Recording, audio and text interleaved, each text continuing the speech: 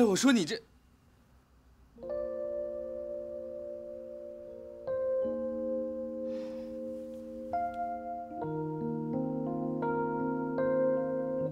没事儿，突然被你砸了一下，精神了。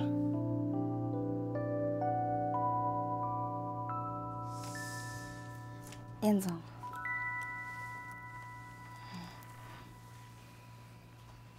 燕总，对不起啊，我刚刚真的没有看到你过来，我手一滑，然后就，哎呦，刚见面就砸我一脑袋，我就这么没存在感？我不是这个意思。你认真了？你，燕总，你别取笑我了，我，我这个时候我内疚的要死。我发现你不仅很认真，而且还很单纯。哎呀，完了完了，我要心动了。燕总，你刚刚砸头还是很疼吧？被你砸了，我头真的好疼，而且好晕。哎呦！嗯，那个，那我再去给你换块毛巾啊，你稍等。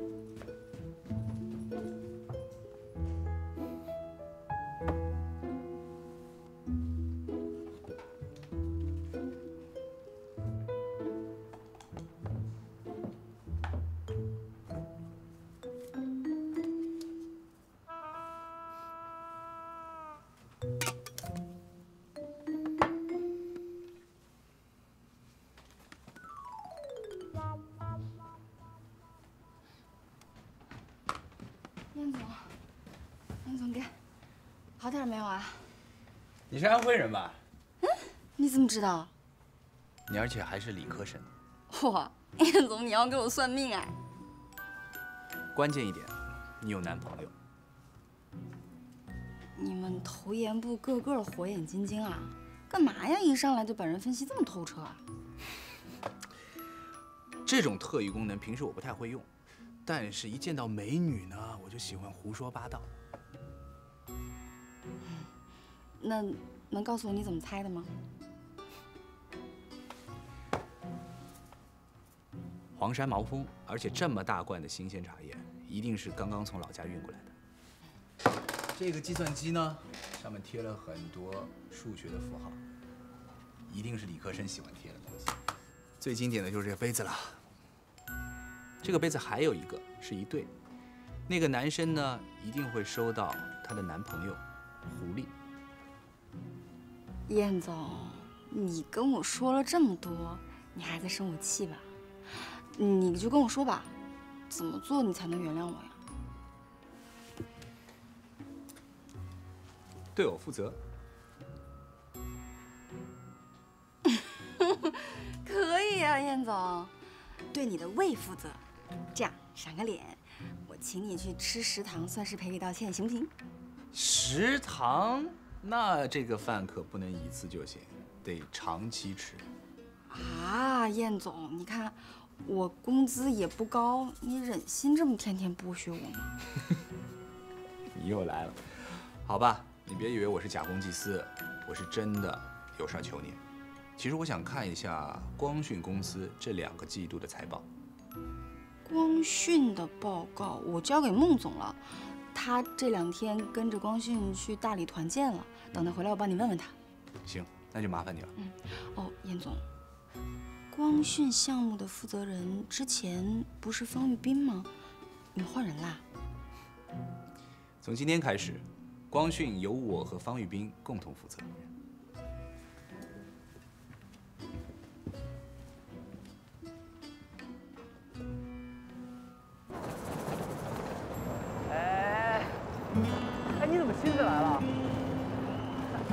谢谢。哎，这次没跟你们一块儿去成，我心里还是有点内疚的。我不得来亲自接你们请个罪吗？这次非常的开心，我们平时太忙了，很少有时间出去走走。谢谢方总，客气。也要谢谢何总的款待。莫总客气了，我主要还要感谢你跟财务部的同事们对我们的支持。哎，我说你们怎么一回到上海就这么官方啊？行了。那个，来，送孟总回家了。好，那我们先走了，拜拜。拜拜。老爸，你跟小杨先回去吧，我回去给你讨个消息。好，注意安全啊！拜拜。拜拜。怎么样，玩的好吗？玩的非常的好，而且玩出了新的想法。说说看。是这样，我们公司从破产到重新赢得市场，遥远的没有。而且他们一直跟着我，所以也算是公司的。我就在想，如果说这次新的产品市场反应良好，能不能给他们一些实质上的奖励？那你打算给他们什么样的奖励？增加他们的股权。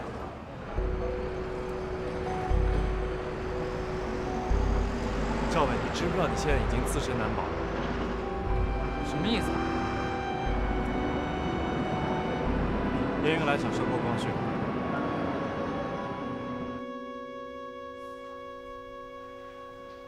事情就是这个样子，袁总也认可了，现在就差荣鼎和火石达成最后价格。方玉斌，我这么信任你，你就这么把我卖了啊？你不知道我跟他叶云来是什么关系是吗？你现在让我找他要饭吃？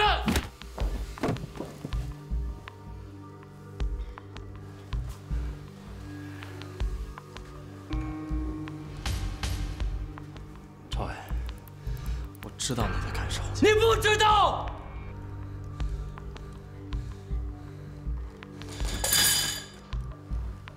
你耍我是吧？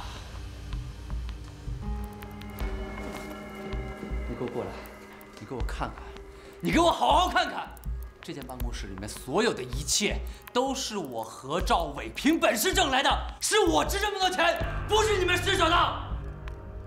赵伟，你冷静。我怎么冷静？你带着我坐了一趟过山车，从天堂到地狱，还不让我吐？我只是在跟你说明现状，事情还没有发展到你说的那个程度啊。事情已经发生了，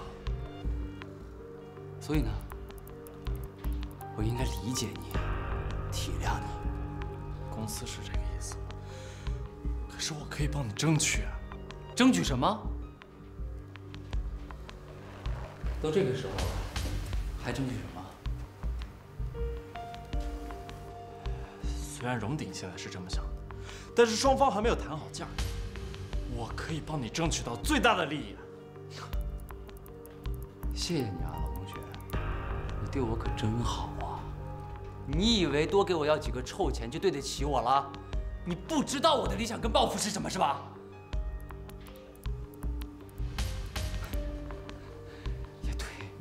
我跟你们商人聊理想抱负，是不是我太天真了？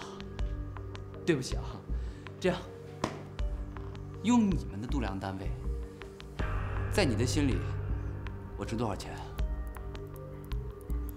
你想拿多少钱？我想拿多少钱？方玉斌，我当初来找你，一是因为你是荣鼎的人，但更重要的是，你是我的好兄弟，我信任你。摸着自己的良心，你的良心值多少钱，我就要多少钱。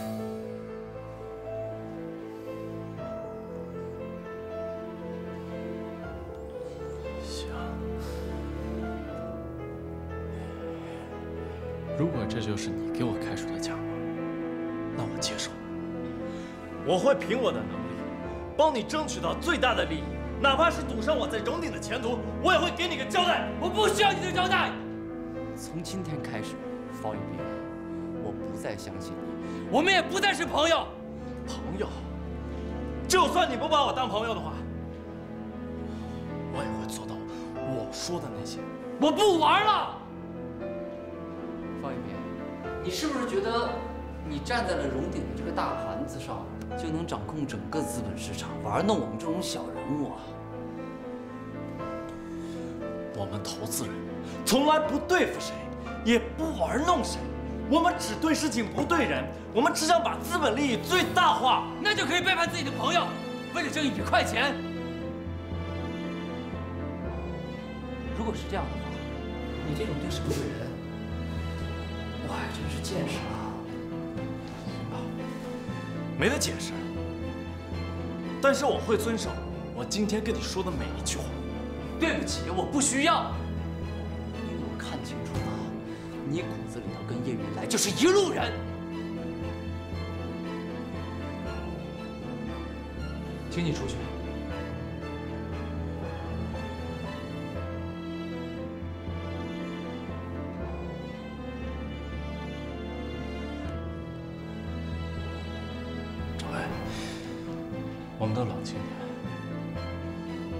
事情比较复杂，有情况我会跟你说的。不想听你说了，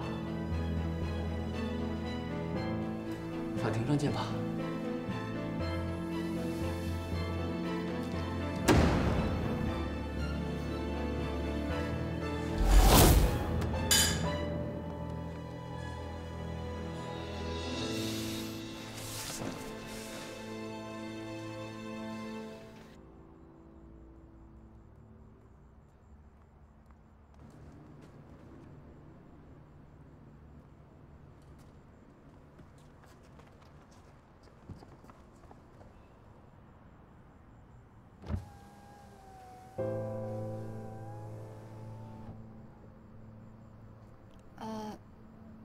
苏苏总，你好，你你来找找人啊？你住这儿？嗯。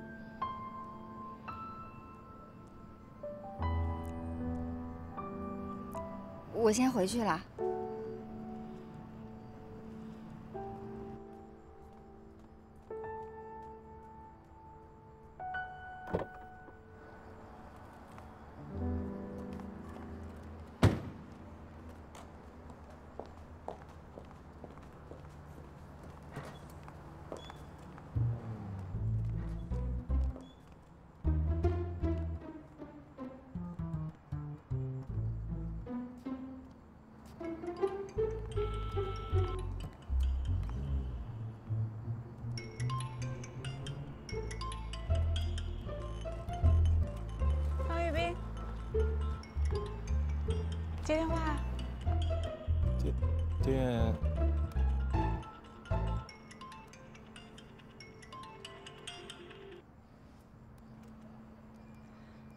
我找你是想问你今天早上怎么回事，打你电话也不接，你莫名其妙就走了。你以为你是谁啊？我告诉你，没有人敢不接我的电话。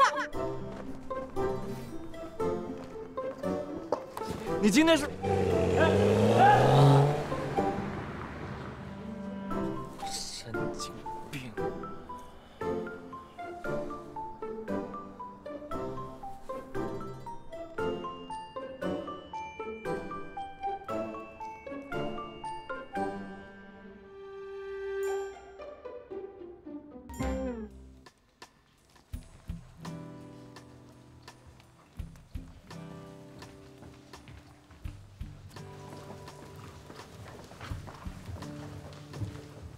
方总，你可来了，袁总已经问过你三次了。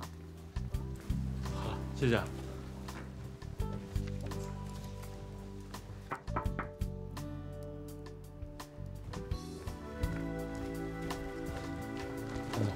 总。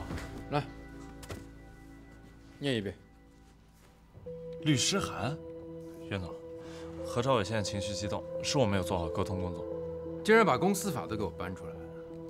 没错，他何兆伟确实是有优先购买的权利，但人家叶云来出得起钱，他出得起吗？简直就是不自量力。不过，看完这封律师函，我觉得倒不是一件什么坏事。我觉得，对于我们来说还是个机会。机会？什么意思啊？你不是说要狠敲叶云来的主杠吗？我觉得有些事儿，有困难可以克服，还有些事儿没有困难，我们可以制造困难去克服。你的意思是说，可以借此机会要挟叶云来，再次提高价格？我们现在可以理直气壮地告诉叶云来，何兆伟打算行使他的优先购买权。你的报价太低了，我们只能把股权卖给何兆伟。何兆伟他只是发发牢骚，连我都不信，他有这个钱来买股权，叶云来会信吗？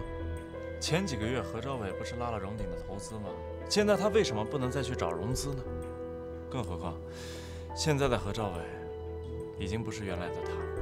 再去融资？我得到确切消息，何兆伟已经到处在找投资人接盘了。就让他闹吧，把事情闹得越大越好。我这儿有一出戏，需要你友情客串一下。来，说来我听听。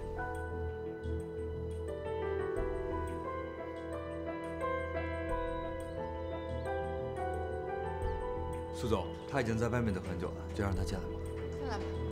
好，进去吧。苏总，你好。各位尊敬的媒体朋友，下午好。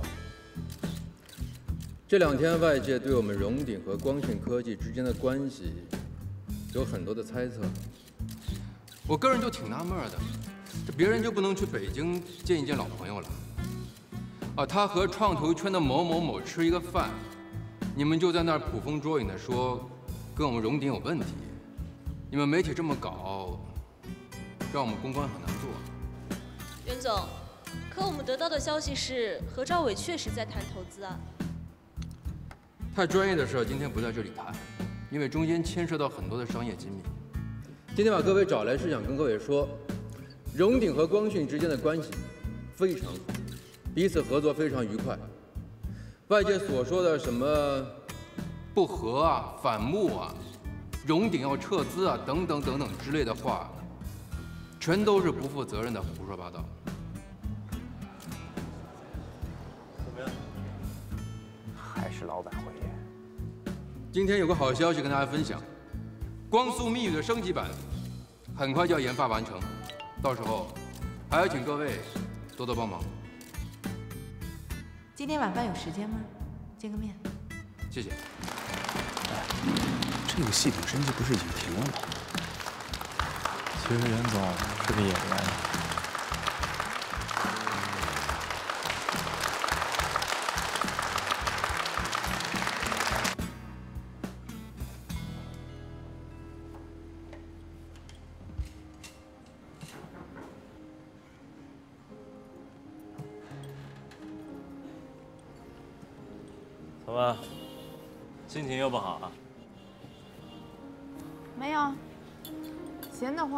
喝杯咖啡。谢谢。我看到袁瑞朗澄清光讯荣鼎不和传闻的视频了，是不是觉得特复杂？老袁这个人精着呢，算盘里多少算盘珠子他能清。何兆伟的事，你打算怎么办呀？唉，尽我所能。怎么尽你所能？让伙食多出点钱。这样，就算他离开的话，也有本钱重新创业。何兆伟已经尝到资本的甜头，你想再让他回到小农时代，是不可能的。他今天来找过我。那，那你什么意思啊？你觉得我应该怎么办？苏总，你就别逗我了。我现在没心情拿这件事开玩笑。我没跟你开玩笑，就是想问你，我应该怎么办？按照现在的情况，何兆伟已经是砧板上的肉了，他没有任何价码来跟你谈条件。你觉得我会接手何兆伟？苏总之前不是对光讯挺感兴趣的吗？我感兴趣的不是跟光讯的交易，是跟你的交易。跟我？现在只有我能解何兆伟的燃眉之急，别跟我提什么盈利，我不感兴趣。我就是想把这个人情卖给你。我不明白你的意思。我是说，只有我能完成你小伙伴的梦想，其他的投资人是不会接盘的。那你需要我做什么？什么都不用做，领我这个人情。天下没有白吃的午餐。还是那句话。你需要我做什么？就是把这个顺水人情送给你。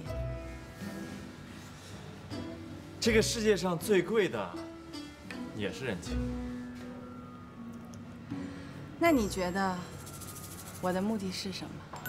苏总，你要是白白给我的话，我是不会接受的，因为这个特别不符合你的逻辑。你总喜欢妖魔化我，觉得我要搞事情。方玉斌，你太步步为营了。明明喜欢我，还要装作一副拒绝我的样子，好像不是为了我的钱、我的资源。你不相信我会拿你当真的朋友，这是另一种程度上的自卑。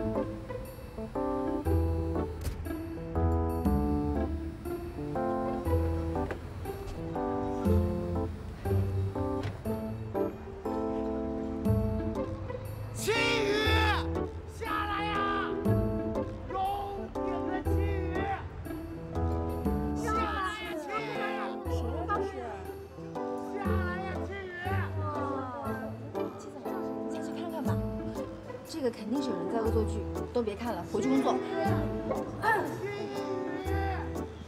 下来呀！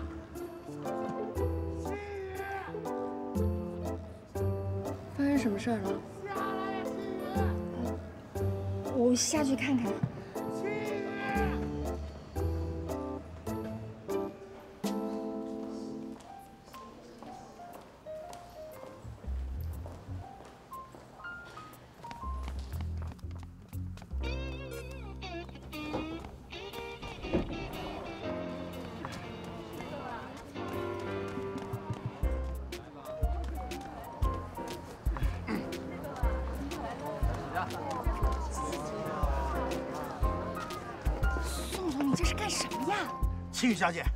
我喜欢你。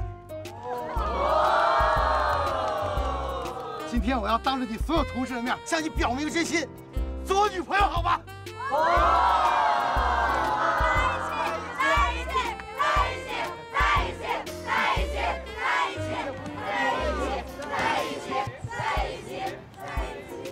宋总，你让我，你这样让我很难堪。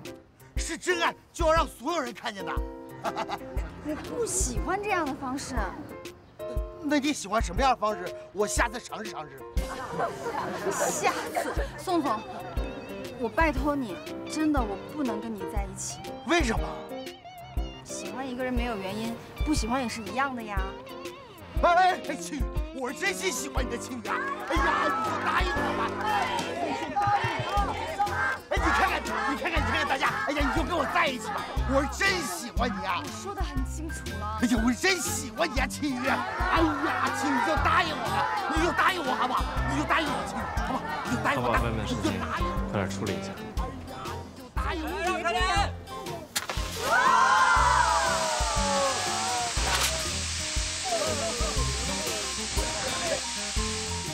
哇！你干什么？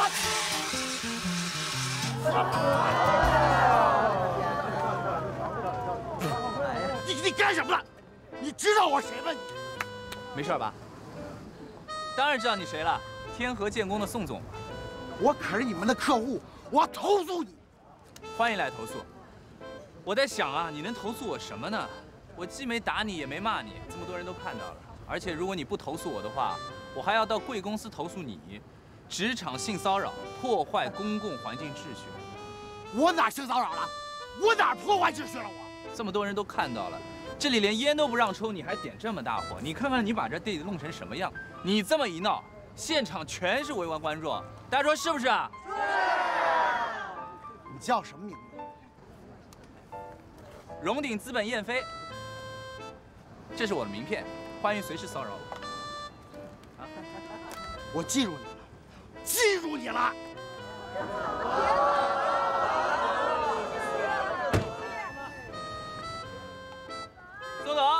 你干什么？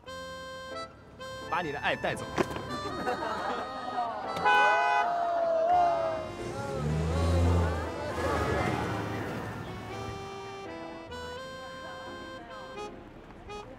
来了吧？走。九个姑娘回公司。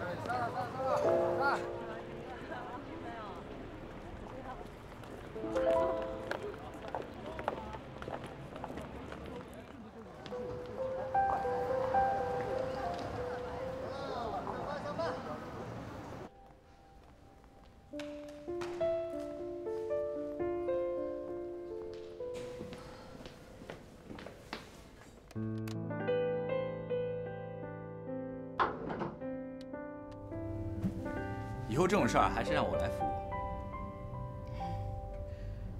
刚刚燕总相当帅气精彩，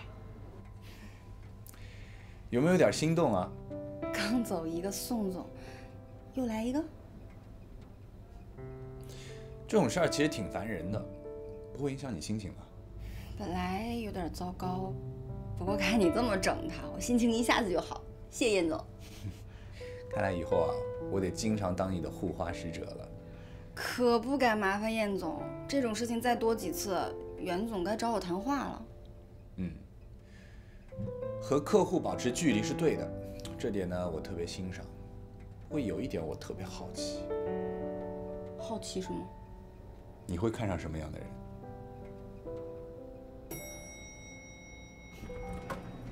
到了。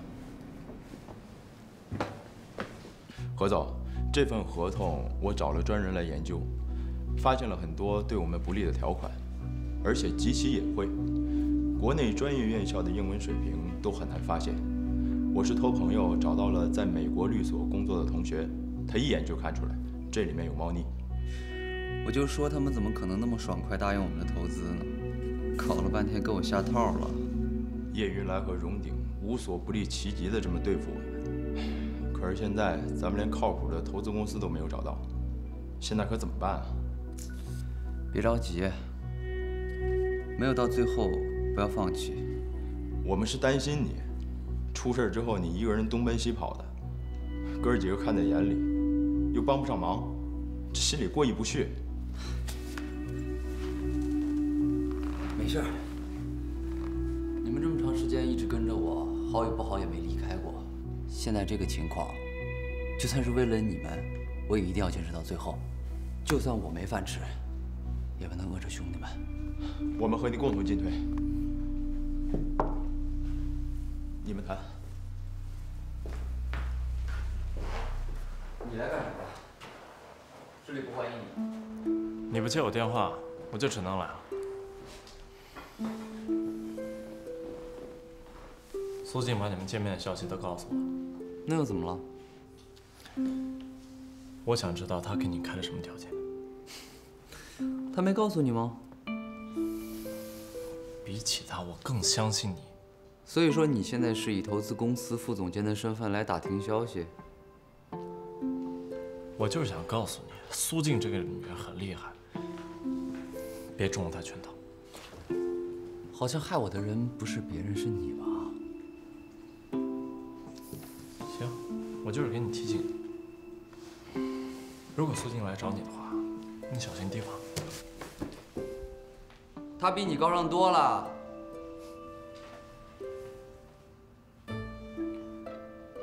我去找他，确实是希望他能够接手光讯，但是他拒绝了，因为他说他是你的朋友，不能拆你的台。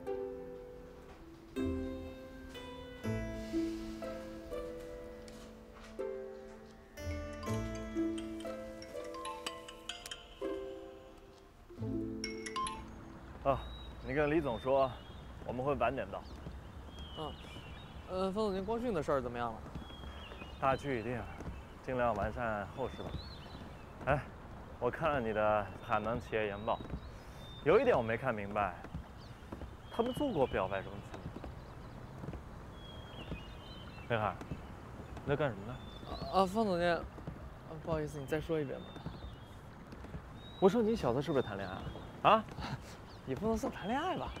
方总，我最近喜欢一个学妹，然后呢，我感觉她也对我有点意思，但是我又不能确定，我怕她是不是玩我。你说，方总监，我是不是有病啊？你太步步为营了，方玉斌，你不自信，明明喜欢我，还要装作一副拒绝我的样子，好像不是为了我的钱、我的资源。你不相信我会拿你当真的朋友，这是另一种程度上的自卑。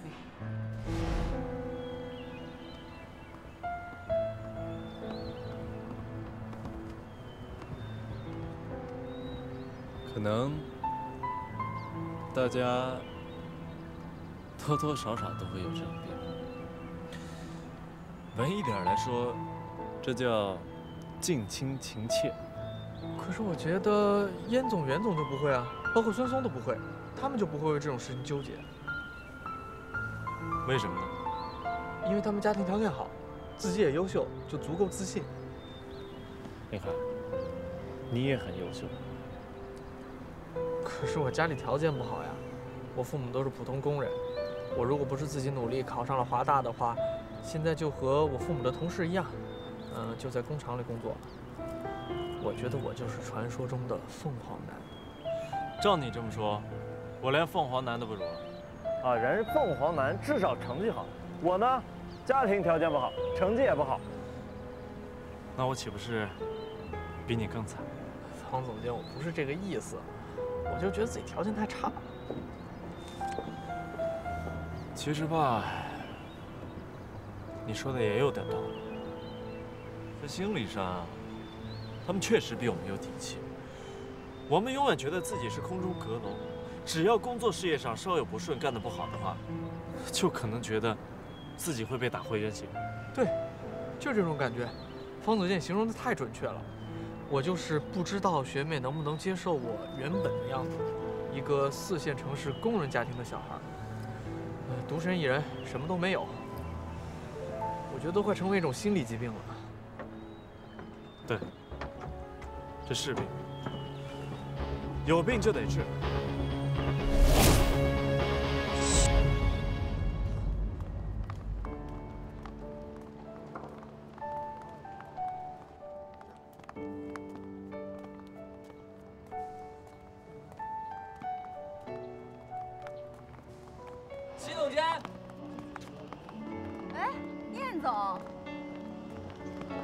去哪儿吃饭呀？中午就这点时间，前面 Seven Eleven 买个盒饭喽。介不介意我带你去个地方？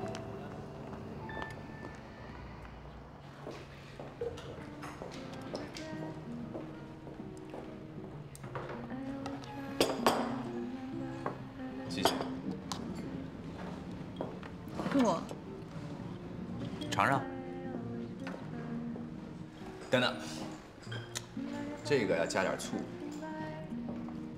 这样啊，肉的香味才会散出来。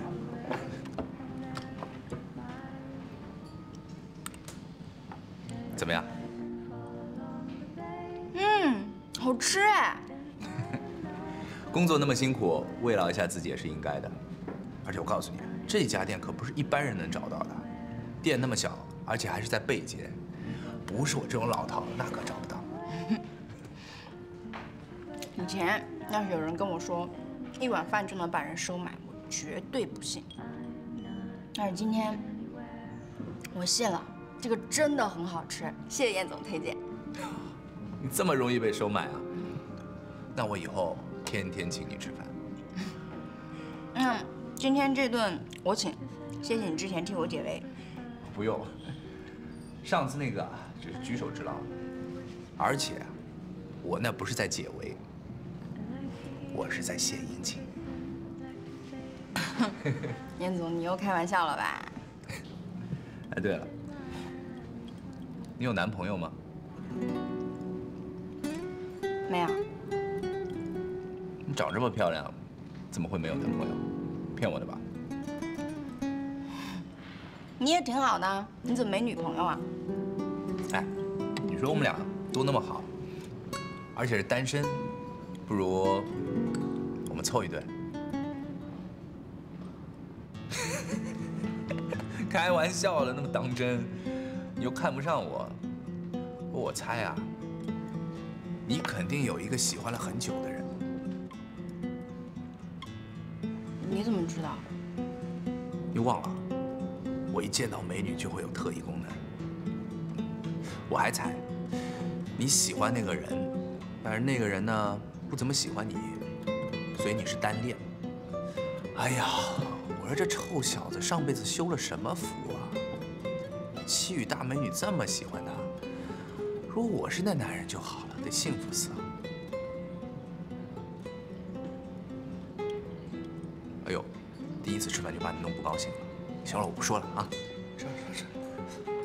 但是啊，说实话，以后你有任何不开心的事儿，随时找我可以倾诉。猜我下次想请你吃什么？痴痴的看你。吃饭吃饭。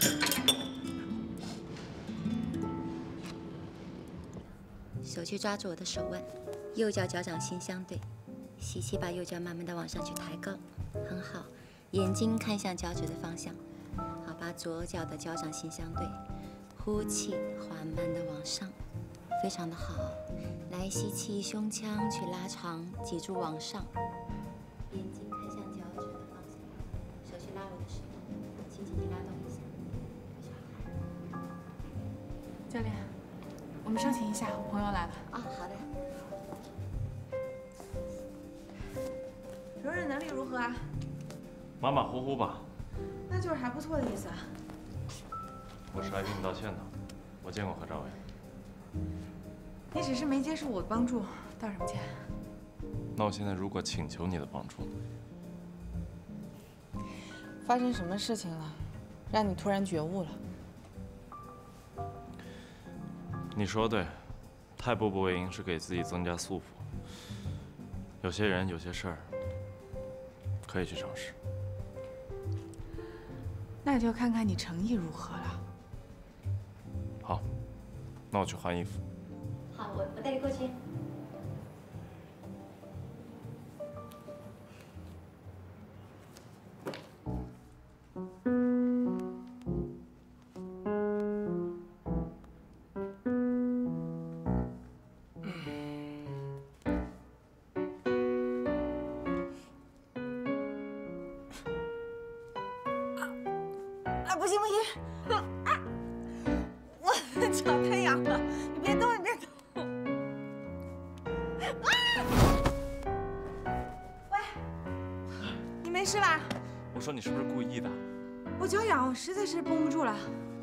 痒？刚才你跟那个教练怎么不觉得痒啊？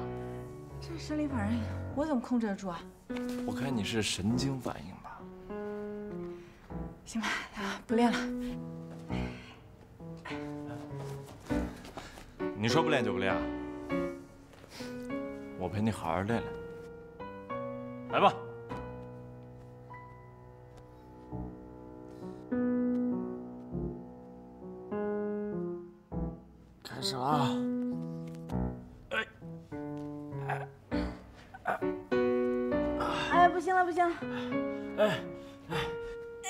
了，不能再往前你的腰得往下再去点儿，你这样动作不标准。谁说我不标准啊？你说你这个人，报复心怎么那么强啊？我哪里是在报复你啊？我明明是在陪你好好练习。哎，哎，你肚子出来了。你说什么？我烦你再说一次。以前没有发现你有小肚子，哎，从我这个角度上看，有点像像小山丘哎。哎哎哎哎！哎，我要不是给你面子，跟你较真儿的话，我把你腿给掰折了。我问你，我这里有小肚子啊？哎，这个女人啊，就是喜欢活在谎言的世界里。再说一次。哎，这说我是不是小肚子？是不是？不不不不，没有小肚子，马甲线，全是马甲线。真的？嗯嗯。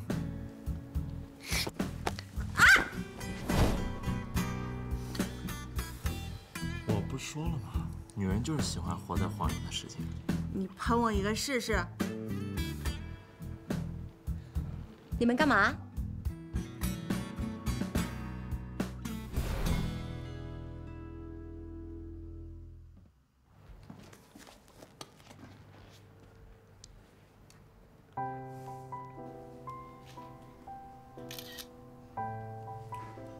你拍我干嘛？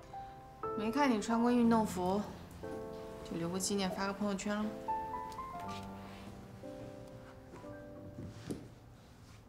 嘿，拍的还挺好，跟大片似的，我用的是人像摄影，保存下来。不是来找我有事的吗？怎么不说话啊？苏总，我每次遇到你，我都会刷新我的三观。那不是挺好的吗？证明我是个有趣的人。其实你没必要老端着，你也外冷内热，刚才不挺可爱的吗？没想到平时雷厉风行的苏总，生活中也像个小女孩一样。已经很久没有人说我像小女孩了。一般来说，不是小女孩的人，都渴望别人说她是小女孩。哎，你怎么不生气啊？我明知道别人气我，我还生气，我是傻子啊？苏总，你真让人琢磨不透哎，一会儿像变色龙，一会儿又像老炮。方总，你见过我几种颜色啊？